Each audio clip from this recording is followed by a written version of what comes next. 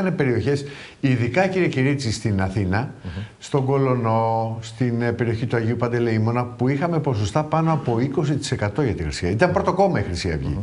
Πώς, ε, τι σχόλιο ε, νιώθετε την ανάγκη να κάνετε για την, την εμφάνιση με τόσο δυναμικό τρόπο της Χρυσής Αυγής; Δεν ξέρω.